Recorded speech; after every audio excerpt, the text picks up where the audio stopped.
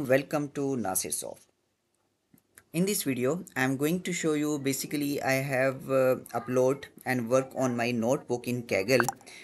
When I upload it, okay, inside this basically the Kaggle dataset which I on which I work that is the Holy Quran, and inside the code my code is not uh, mentioned. Okay, so this is basically I have done my code okay inside this and all the output are basically uh, showing here.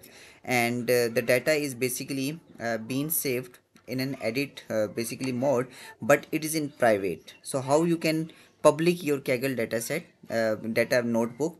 Inside the share click on this okay click on share there are two options are showing. The one is selected that is private. So therefore uh, our notebook is not uh, visible to public. So make it public click on public. And after that here click on save. Now your basically uh, notebook will be public. If i again go to this specific uh, here it shows me code 31 if i refresh this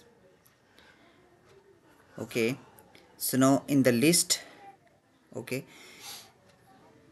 the dataset should be showing your dataset uh, your basically node here you can see that when i here write the nlp now my dataset is also uh, basically my notebook is also showing here so this is how you can show your notebook inside the Kaggle code.